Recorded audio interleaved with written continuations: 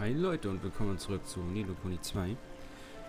Im letzten Part haben wir unsere Stadt erweitert und haben auch unser Schiff erweitert. Mit dem können wir jetzt anscheinend auf Wasser springen und wollen über einen riesigen Meeresgraben springen, um nach Mechbaum zu kommen. Und das werden wir dann jetzt ausprobieren, wie das funktioniert. Mal schauen. Oh, es ist scheinbar egal, ob man dort, dort oder dort drüber springt.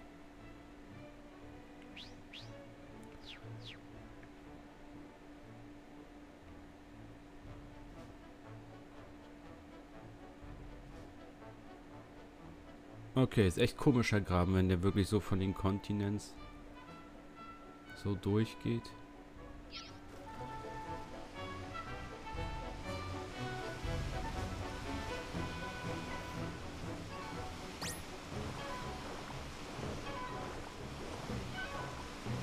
Oh man ist wirklich um einiges schneller, wenn man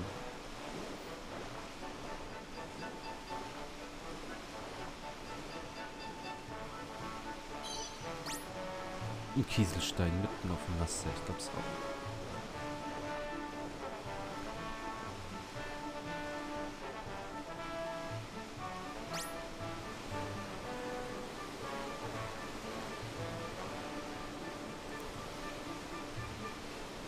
Okay, das sieht ja auch cool aus.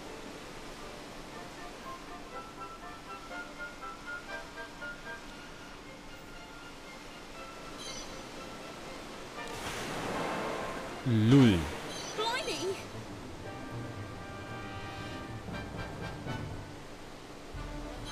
Also ich musste nichts drücken, hat er alles von alleine gemacht. So. Ach, jetzt kann ich mich hier auf der Map auf weiter bewegen. Das ging vorher halt nicht.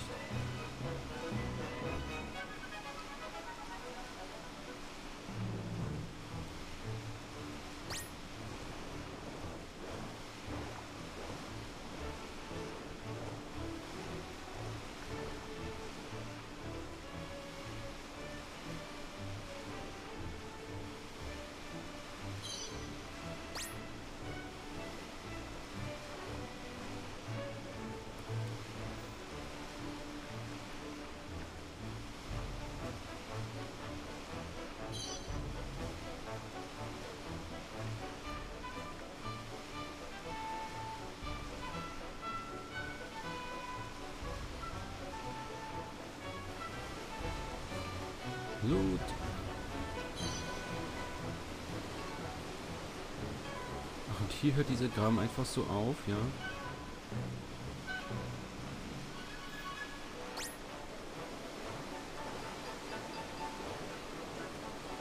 Okay.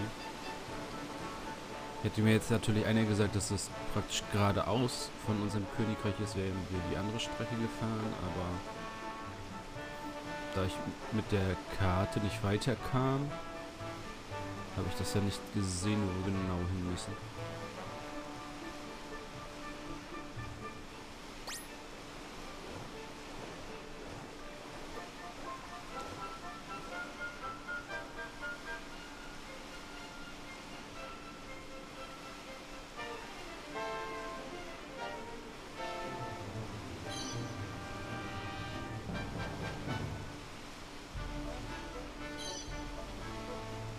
Hört doch mal auf die Kieselsteine.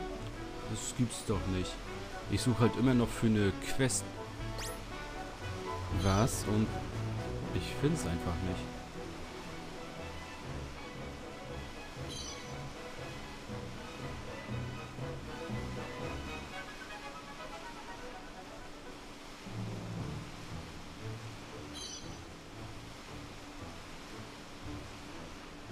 Oh, was geht denn hier?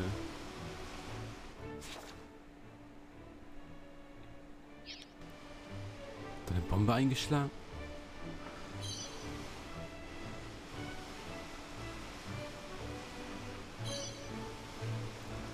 Ja, werden wir gleich sehen.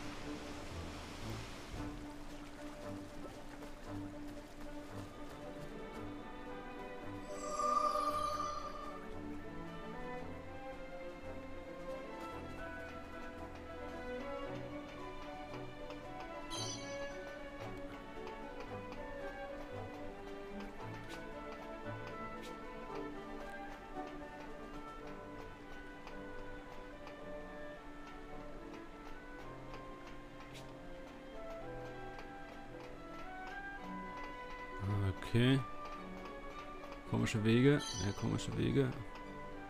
Da ist eine Kiste. Hallo, lass mich da hin.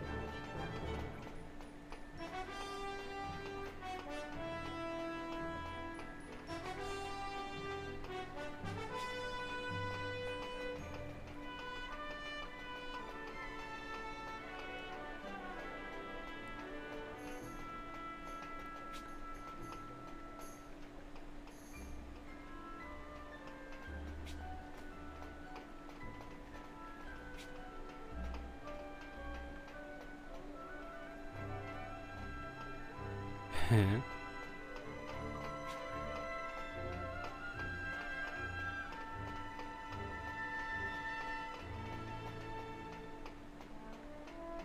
Also das hier ein Weg ist, das sehe ich ja noch. Mit diesem plattgetrampelten. Dass hier einer hochgeht, das sehe ich auch noch.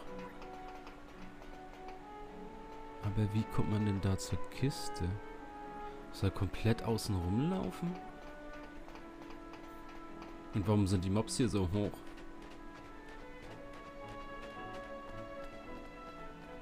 Da bin ich ja in einem Kampf tot.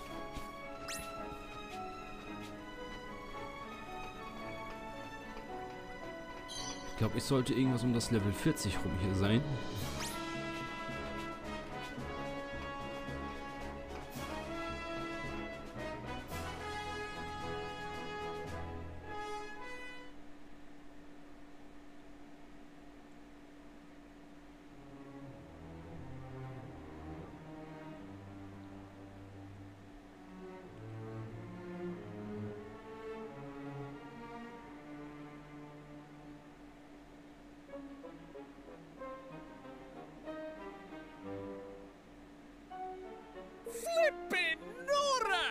Ist denn das?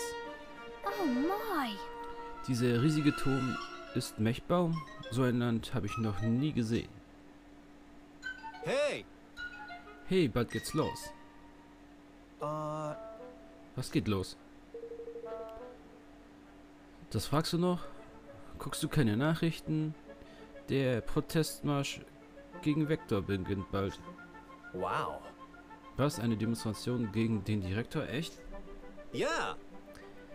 Ja doch. Sie versammeln sich auf dem Platz vor der Fabrik. Was sagst du? Sollen wir mal hingehen und uns das ansehen? Hm, warum nicht? Eine Protestkundgebung bleibt selten friedlich. Stimmt, wir sollten uns das auch ansehen. Sofort.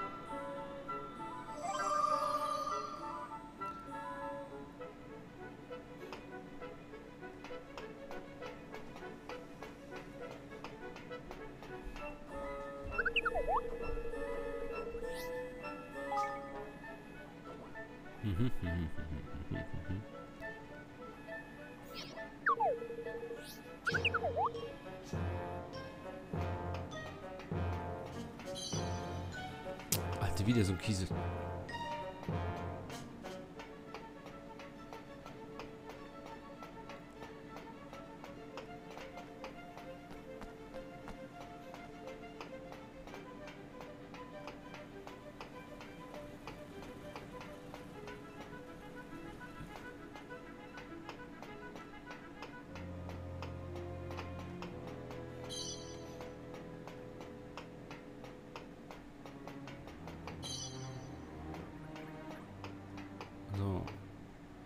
Welcome to Swift Solutions. Okay, ein paar Sachen hätte ich davon.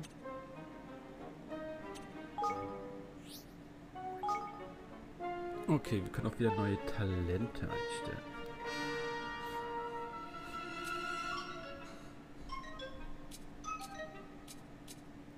Ah, siehst du, jetzt sind auch Leute aus Quastenfloss dabei. Oh, by the way, Also muss man wirklich immer erst eine Stadt abschließen, bevor man da Leute draus bekommt.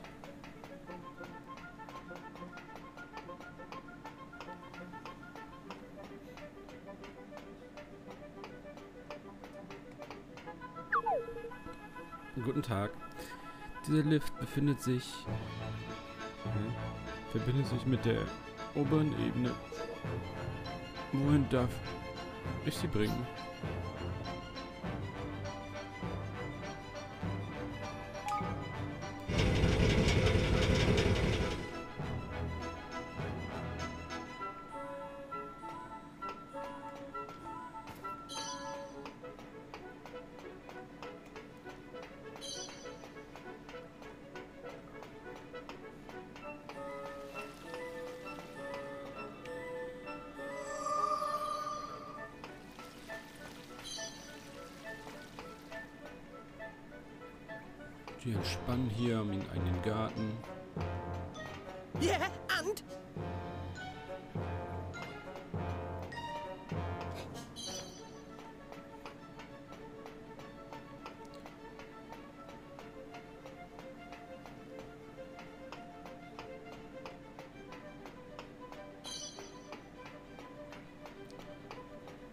So, wir sollen da hinten irgendwo hin.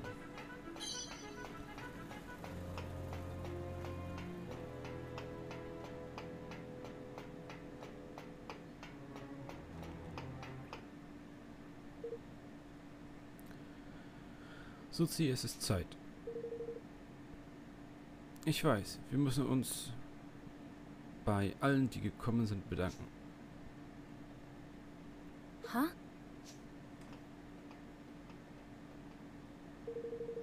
Wer seid ihr? Ihr seid keine Angestellten, sonst würde ich euch kennen. Listen, Hier beginnt gleich eine Demonstration. Verschwindet, Liebe. Für Außenseiter kann es gefährlich werden. oh, Wir sind hier, um den Direktor eures Landes zu sprechen. Was hat der ganze Aufstand hier zu bedeuten? Ihr wollt Vektor treffen? Da hättet ihr euch wirklich einen schlechteren Zeitpunkt aussuchen können. Keinen schlechten Zeitpunkt können. Wenn ich mich vorstellen darf, ich bin Suzi Blackburn, Chefingenieurin von Mechbaum. Ich habe zu dieser Demonstration aufgerufen. Nur so können wir uns Gehör verschaffen. Was ich damit sagen will, nicht einmal ich, eine Angestellte dieses Unternehmens, habe Zugang zu Vector oder kann mit ihm sprechen. golly. Aber seit wir mit der Entwicklung der Abrakali des Abrakalit Reaktors begonnen haben, hat sich Vector sehr verändert. Für die Fertigstellung des Reaktors riskiert er sogar das Leben seiner Mitarbeiter. Um die 20 Menschen mussten schon ins Krankenhaus eingeliefert werden, weil sie vor Erschöpfung zusammenbrachen. Wie kann der Anführer eines Landes nur so grausam sein? hey, Suzi. Die Victory kehrt zurück. Es ist soweit.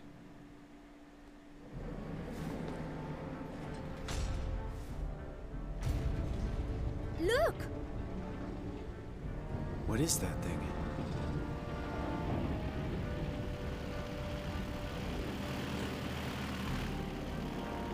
Lol, Sandkopf vorne dran, echt. It appears to be an airship of some sort. Look at the face on it! We're ready when you are, Bracken. Just say the word. Okay, alle bereit. Thanks, Trey. Maybe now you'll listen, Zip. Heute wirst du uns nicht einfach ignorieren können. For too long, the President has been working us like slaves to get his perpetual fission reactor finished. But we have a message for him. We are not your slaves, Zip. Ja, den geht doch.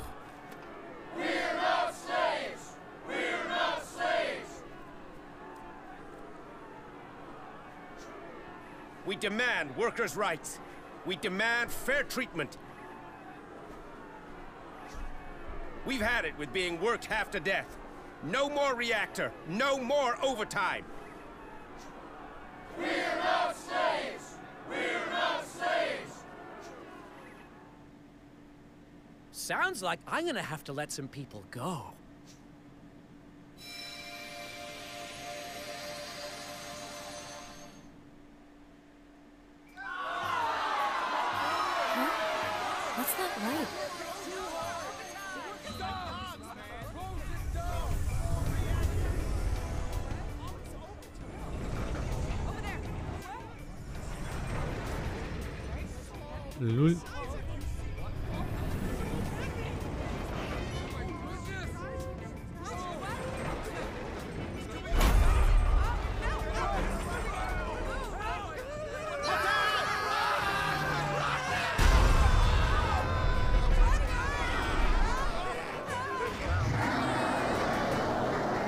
Ähm, Now you see what happens to those who defy me! Finally decided to make an appearance, huh, Mr. President? what a disappointment to see you leading this ragtag resistance. You know, I expected better of you, Bracken. hat auch einen ganz anderen Namen. Toll. I expected better of you too. Have you forgotten what we said when we started out? We promised to make the world a better place, remember? And we will! The perpetual fission reactor will change the world forever! And the future will be mine to define! Even if it means trampling over everybody who helped you make it this far? You used to care about us. You used to be a leader people could trust. But that's all gone. When did you get so. br- I'm the broken one? Look at yourselves, stuck in the past, left behind by the march of progress. Na, da ist er schon. It is time.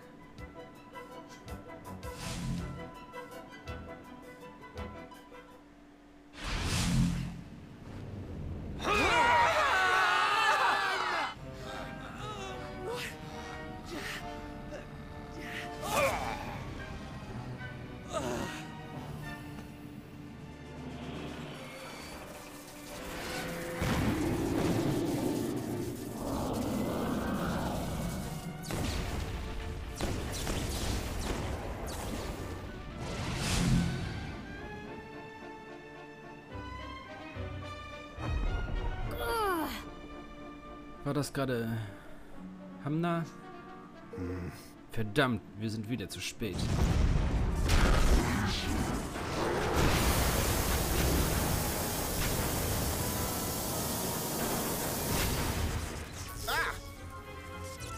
Äh, Suzi, wir müssen weg von hier. You're right. Ja, uns bleibt wohl nichts anderes übrig. Was hast du vor, Koloss? Wer sich mir widersetzt, wird bestraft.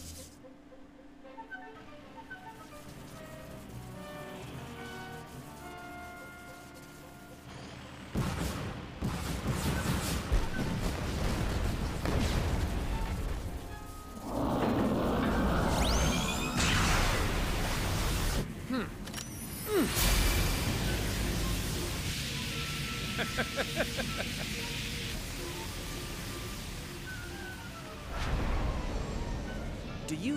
think you can stop me? Well, let me tell you something, friend. Anybody who stands in my way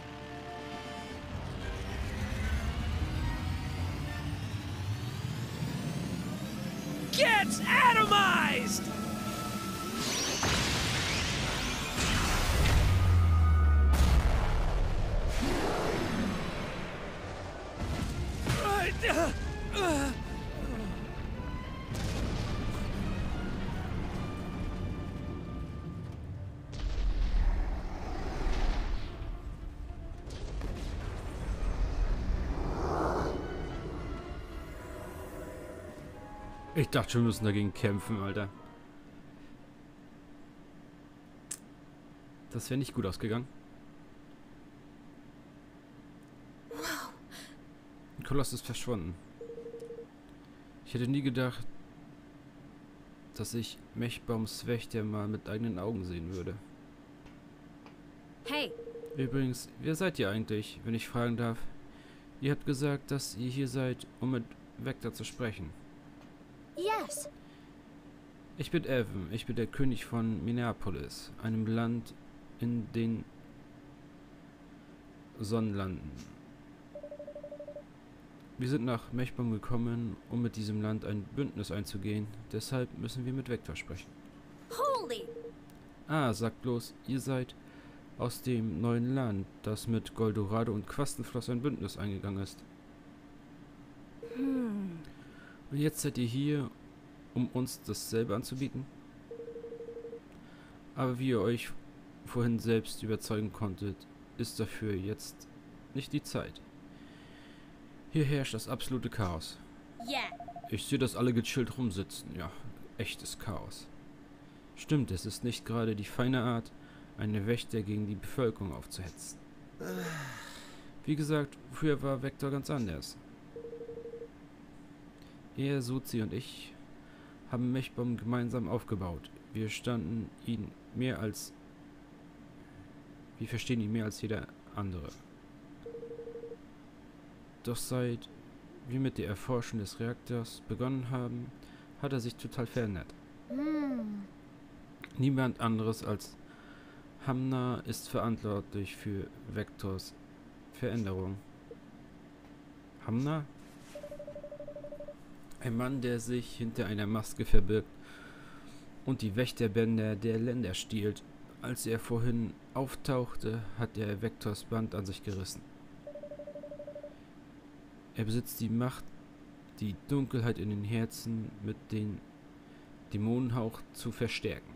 Vermutlich hat er das auch mit Vector gemacht. Huh? Warte mal kurz. Wenn das wahr ist, müssen wir Vector umgehend helfen. Wir werden euch dabei unterstützen. Wir bringen Vector wieder zu Verstand.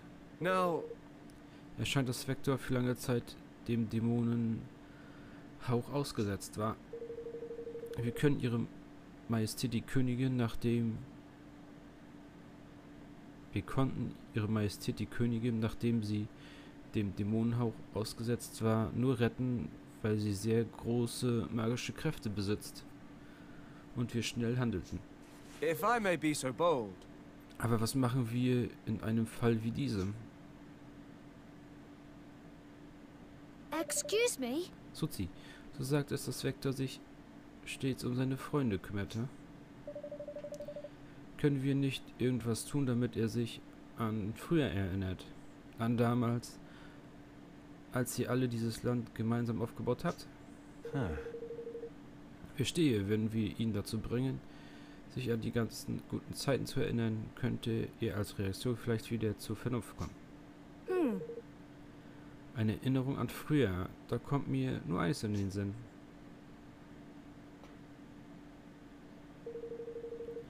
Vor zehn Jahren hier in diesem Versteck nahm alles seinen Anfang. Hier gründeten wir Mechbaum und hier war unser erstes Büro. Da hinten ist das Arbeitszimmer, das wir damals benutzten. Es sieht noch immer so aus wie früher. Wir haben dort an allen möglichen getüftelt. hmm, Mit etwas Glück finden wir also etwas, das uns hilft. Dafür darf ich mir das Arbeitszimmer einmal genauer ansehen. Uh-huh.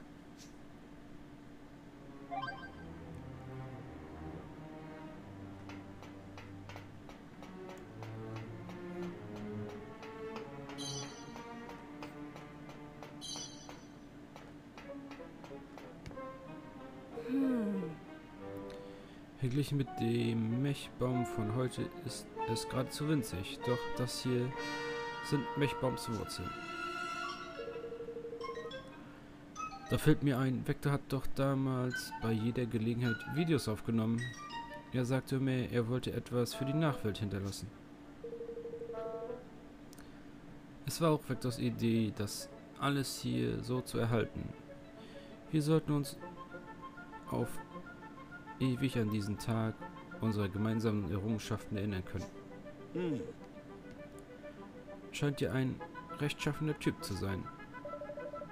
Okay, wir teilen uns auf, suchen nach allem, was uns eventuell weiterhelfen kann. Jetzt verarschen sie mich. Was gibt's da zu durchsuchen?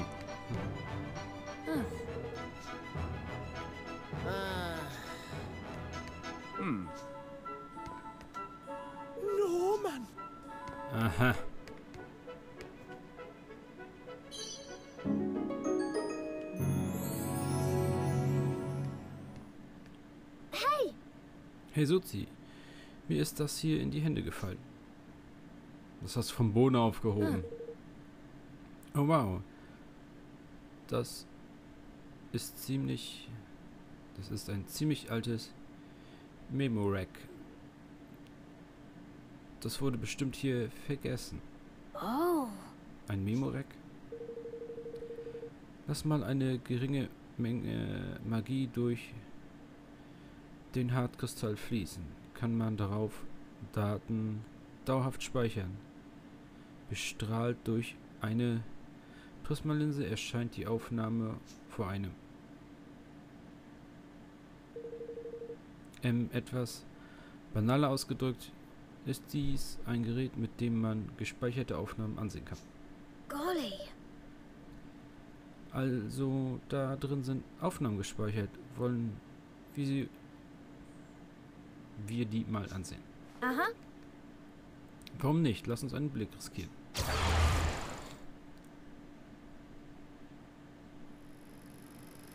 Hey, Bracken, there's something up with this circuit. Can you take a look? Sure. Let me see. Yeah, I think you're getting some leakage right about here. Okay, leave it with me and I'll see what I can do. Oh, that'd be great, thanks. I can't wait to get the crystal battery up and running. This thing's gonna be a game changer for the energy business. The technology we build here today will make a better tomorrow for everybody. Me too.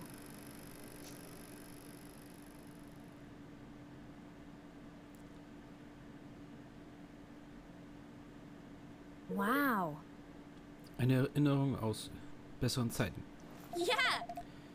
Hey, das passt doch perfekt, oder nicht? Wenn Vector das sieht, erinnert er sich bestimmt zurück. Huh. So eine Aufnahme ist definitiv überzeugender als bloße Worte.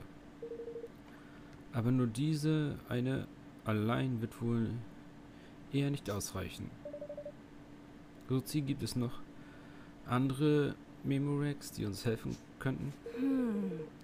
Alle Memorex, die nicht zum Profit des Unternehmens beitragen, wurden auf Befehl Vectors leider entsorgt.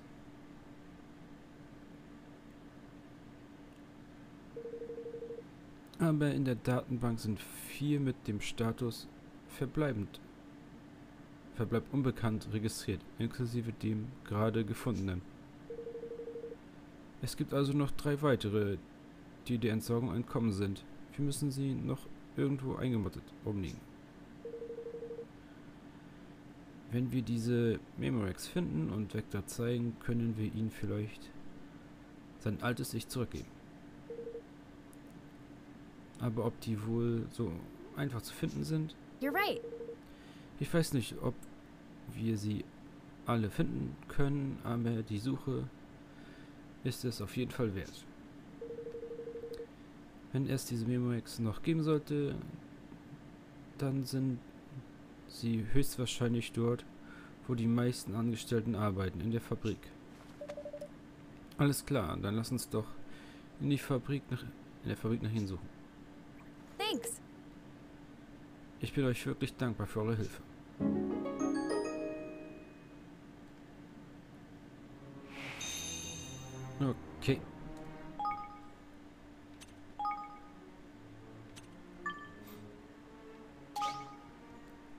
Ausgetauscht. So.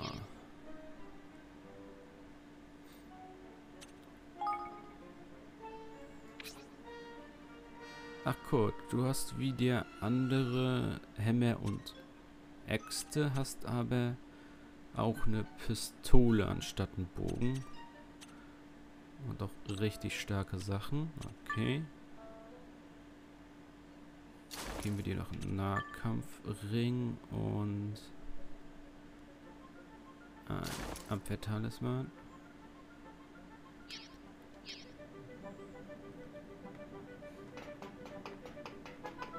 Okay, und dann suchen wir im nächsten Part weiter. Ich werde da schon mal hingehen bis zur Fabrik. Ciao, Leute.